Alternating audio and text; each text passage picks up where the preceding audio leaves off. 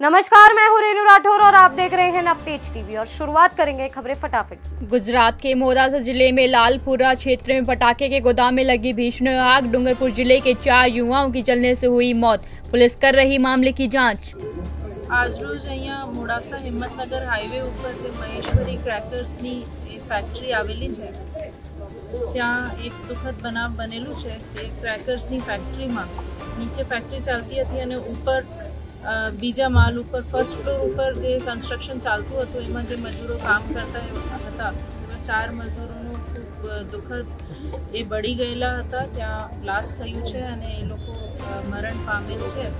એમાં જે દોષિત સામો દોષિત સામે ખરેખર કાર્યવાહી હશે, એની અમે તપાસ કરી રહ્યા છીએ. એનાથી પહેલાં જે છે, અંદર કોઈ બીજા માણસો એમાં ન હોય, એવી કોઈ કેઝ્યુઅલ્ટી છે કે નથી. એમાં ફાયર ડિપાર્ટમેન્ટ પણ કામ કરી રહ્યું છે અને પોલીસની ટીમ પણ અને મામલતદારની આખી ટીમ અહીંયા ઉપસ્થિત છે अजमेर की अराई में ग्राम पंचायत की तालाबंदी से अटके काम आमजन हो रहे परेशान 24 अप्रैल से होने वाली महंगाई राहत शिविर व प्रशासन गांवों के संग शिविर का करेंगे बहिष्कार जयपुर के कानोता मामले में एसएमएस अस्पताल की मोर्चरी के बाहर परिजनों ने किया धरना प्रदर्शन डीसीपी ईस्ट ज्ञानचंद यादव व एडीएम ईस्ट अमृता चौधरी को मांगों को लेकर सौंपा ज्ञापन। दूसरे समुदाय के सबीर नामक के शख्स पर लगाए थे गोकसी के आरोप। बूंदी में नाबार्ड के तत्वाधान में कार्यशाला का हुआ आयोजन, राइस रजिस्ट्रेशन, प्रोडक्शन एवं बेनिफिट को लेकर हुआ आयोजन। इस दौरान नाबार्ड के डीडीएम राजकुमार सीडा के परसुन जैन सहित चावल संघ अध्यक्ष व चावल व्यापारी रहे मौजूद।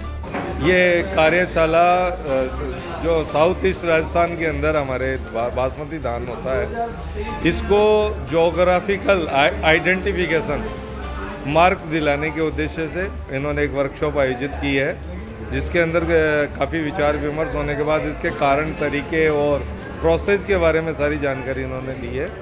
उसको सभी ने समझा है और आगे हम भी ये दावा कर सकें जीआई रजिस्ट्रार को कि भाई साउथ ईस्ट राजस्थान के अंदर जो बासमती धान पैदा हमारे किसान कर रहे हैं, जिसको हमारी इंडस्ट्री प्रोसेस कर रही है, उसको किस तरह से ये पहचान चिन्ह हमें भी प्राप्त हो, ताकि हम भी भारत के बाहर और भारत के भीतर इस नाम से, इस उत्पाद को इस नाम से पहचान कर सकें प्रोसेस कर सकें और सप्लाई कर सकें। जो ये आज कार्यशाला आयोजित की गई है, ये जोग्राफिकल इंडिकेशन या जिसको हम हिंदी में भौगोलिक दर्शन के नाम से जानते हैं, या जीआई टैग के नाम से भी जानते हैं तो उसके ऊपर ये हमने प्रयोग ये कार्यशाला आयोजित की है, क्योंकि बूंदी का जो राइस है, वो अपने आप में एक बहुत विशेषता रखता है। उसकी अपनी उसकी अपनी ओरिजिन की अपनी एक विशेषता है, और जैसे कि आप जानते हैं कि बूंदी को धान के कटोरे के नाम से जानते हैं, और यहाँ जो उत्पन्न होने वाला चावल है, वो सारी वही विशेषता रखता है जो बासमती चावल रखता है। तो हमारा ये प्रयास है कि जो बूंदी के जो चावल है, इसको हम बासमती की कैटेगरी में जीआई टैग के रूप में रजिस्टर करवाएँ तो इसी संबंध में हमने यहाँ के जो मिलर्स हैं, उन सबको यहाँ बुलाया, उनको अवेयर किया कि जीआई टेक के कितने बड़े फ़ायदे हो सकते हैं। एक्सपोर्ट बिज़नेस में आपको करवाने पे इसके क्या क्या बेनिफिट मिलेंगे। और ये एक ऐसा टूल है जो किसी भी अनऑर्गेनाइज सेक्टर को ऑर्गेनाइज करने का एक बहुत बड़ा माध्यम है। बूंदी में विश्व पृथ्वी दिवस पर होगा कार्यक्रम का आयोजन। एक दिन पूर्व वन विभाग द्वारा राजकीय उच्च माध्यमिक विद्यालय गुड़ा नाथावत में कार्यक्रम आयोजित हुआ। जिसमें तीन प्रतियोगिताएँ आयोजित हुई। इन प्रतियोगिताओं में छात्र छात्राओं ने लिया बढ़ चढ़कर भाग। पृथ्वी दिवस का कार्यक्रम राजकीय उच्च माध्यमिक विद्यालय बूढ़ा में हमने आयोजित किया है वन विभाग की तरफ़ से। यहाँ पर इसमें तीन प्रतियोगिताएँ हमने आयोजित की गई है। पहली प्रतियोगिता पेंटिंग की की, की है चित्रकला। दूसरी वानस्पतिक पहचान और तीसरी जो है वन्य जीव और जनरल नॉलेज की जो सवाल है उनको लेके की है। सबको फ़र्स्ट सेकंड थर्ड आने वाले को पारितोषिक दिया गया विश्व पृथ्वी दिवस के उपलक्ष्य में वनस्पति पहचान एक नया कार्यक्रम किया था हमने, ताकि बच्चे जो वनस्पति से अनभिज्ञ होते जा रहे हैं तो वो वनस्पति से जानकारी पहचान सके और नई नई वनस्पतियों की जानकारी करके उनको उगा सके। तो इस तरह से वनस्पति पहचान हमने नया किया था। इसके अलावा सामान्य क्यूज प्रतियोगिता और पेंटिंग प्रतियोगिता आयोजित की गई थी। तो बच्चों ने बहुत उत्साह उत्साह से भाग लिया और गाँव वालों का भी इसमें अच्छा सहयोग भरतपुर ज़िले में सैनिक कुशवाहा मौर्य समाज ने दी हाईवे जाम की चेतावनी। हाईवे पर बड़ी संख्या में पुलिस बल रहा तैनात। समाज के लोगों ने की फूले आरक्षण समिति के संयोजक मुरारी लाल सैनी को छोड़ने की मांग।